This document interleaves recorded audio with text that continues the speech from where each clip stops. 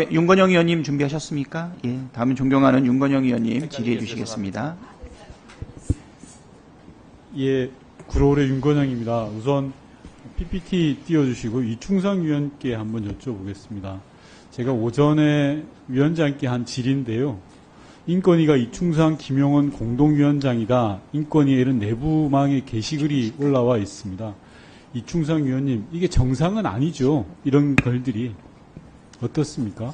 그 게시글 저는 본 적이 없고요. 예, 예, 알겠습니다. 아마도 그 올렸다가 금방 삭제 모양 같습니다. 예, 예. 저는 전혀 본 적이 없습니다. 알겠습니다.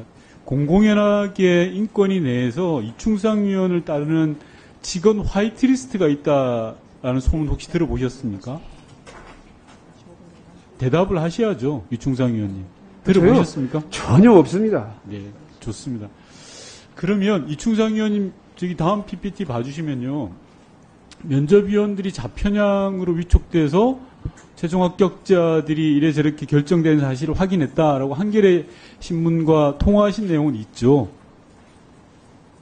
PPT 바- 내용 보시고 이야기하죠. 아, 이런 내용이 있죠. 뭐, 예, 있습니다. 예, 그러면 면접위원 정보를 누구로부터 들으셨습니까? 이충상 위원님? 아, 제가 이름 들은 게 아니라, 아, 뭐, 이제, 그렇다. 아니요, 이충상 의원님 정확하게 정보를 제공받았습니다. 그러니까 정보를 누구로부터 제공받았습니까? 그, 그, 그거 말씀드리기는 곤란합니다. 지금 여기는 국정감사장입니다. 그리고 이충상 위원은 증인으로 차- 출석하신 거예요. 그죠? 그러면 어, 국정감사장에서 묻는 거에 답할 의무가 있는 겁니다. 아니, 제가, 곤란한 게 아닙니다. 예. 수사 중인 사항도 아니고 직무와 관련된 사항이고 국회에서 국정감사를 통해 밝혀야 될 내용인 겁니다. 이충상 위원께 다시 묻겠습니다. 면접위원 정보를 누구로부터 들었습니까? 면접위원 정보를 아는 사람은 바로 옆에 계신 위원장과 그 다음에 담당 과장과 이 두 분밖에 없습니다. 실무자 포함하면 세 명입니다. 누구로부터 들었습니까? 아, 그보다 더 됩니다. 아니, 되는 그- 건 제가 판단하는 아, 문제고 그, 그보다 누구로부터 더 됩니다. 더 됩니다. 웃지, 웃지 말고 답변하십시오. 저, 누구로부터 들었습니까? 이충상 인사 의원님? 혁신처도 관계를 하고요. 이충상 의원님 누구로부터 들었냐고 묻습니다. 한겨레 신문에 통화할 정도면 저렇게 자신 있게 이야기할 정도면 본인 말에 책임은 지셔야죠. 누구로부터 들었습니까? 이름을 들은 것도 아니고 면접위원 어, 정보를 그, 분명히 래서 들었습니다. 그런 것으로 생각한다는? 어, 이충상 의원님 다시 묻겠습니다. 누구로부터 들었습니까? 옆에 계신 위원장으로부터 들었습니까?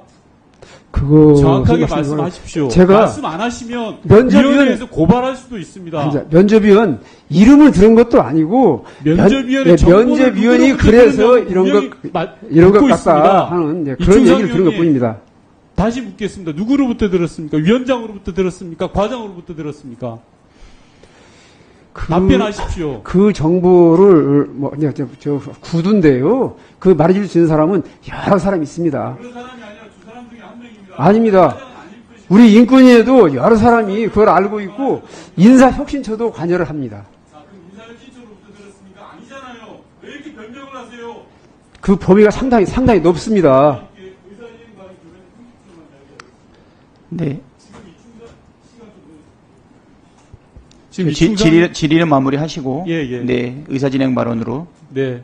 뭐 의사 질의 마무리 안 해도 될 것 같습니다. 네. 의사진행 발언 바로 넘어가면요. 지금 이충상 의원은 국회 증인으로 참석한 거고 발언을 안 하겠다라는 것은 심각한 문제라고 생각합니다. 언론과 인터뷰를 하고 국회의원의 질문에 대해서 답변을 안 하는 것은 국정감사가 갖는 것들을 무시하는 행태라고 생각을 합니다. 그리고 이충상 의원이 알아서는 안 되는 정보를 지금 알고 있는 겁니다. 그리고 불법을 저지른 겁니다. 인권위원회가. 따라서 저는 위원장께 이번 국정감사가 끝나는 즉시 이충상 의원을 법적 조치, 고발 조치를 해줄 것을 건의 드립니다. 이상입니다. 예, 위원장님. 네. 의견을 들은 것입니다. 면접위원 명, 이충상 의원이 알아서는 안 되는 정보예요.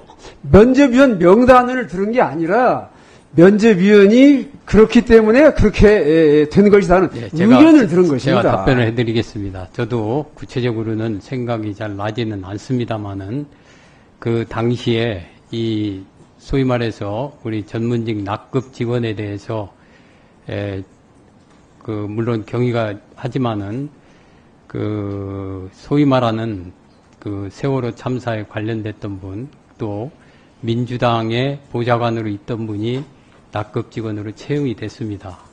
그런 과정에서 이충상 의원이 그 왜 그러냐면은 그분들 그것 그분들에 대한 그 그분들이 이제 와서 우리 상임위원분들을 보좌를 해야 됩니다.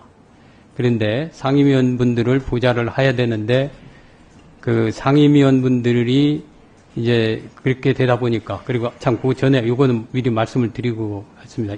원칙적으로 상임위원실에 직원 배치할 때에는 상임위원들의 의견을 듣도록 돼 있습니다.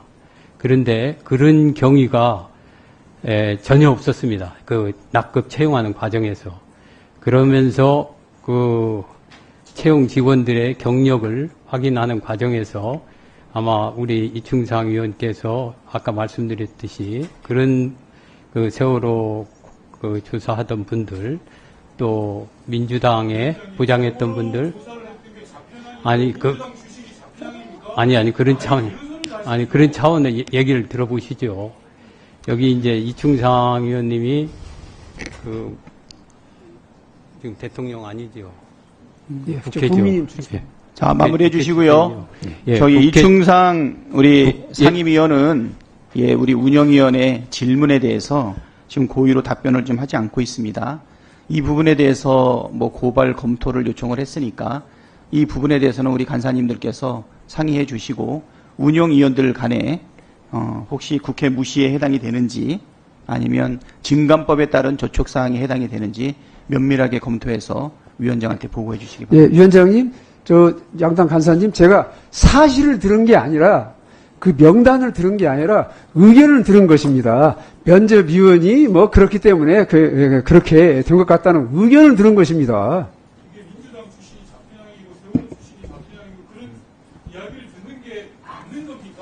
자표장은 아니지만? 아, 저, 저, 지- 진보적인 분입니다. 저기, 국회 사무처가 의원님의 비서관을 일괄 채용해서 배정하면서 국민의힘 비서관을 최근까지 한 분을 민주당 자, 의원님께. 받으시라고 하면. 받으시겠습니까? 효율적인 감사를 위해서 곤란하시죠. 잠시 감사를 중지했다가 어, 예 오후 4시 50분에 감사를 계속하도록 하겠습니다. 감사 중지를 선포합니다. 이따 딱 하면서 하시죠. 2시간 반 됐습니다.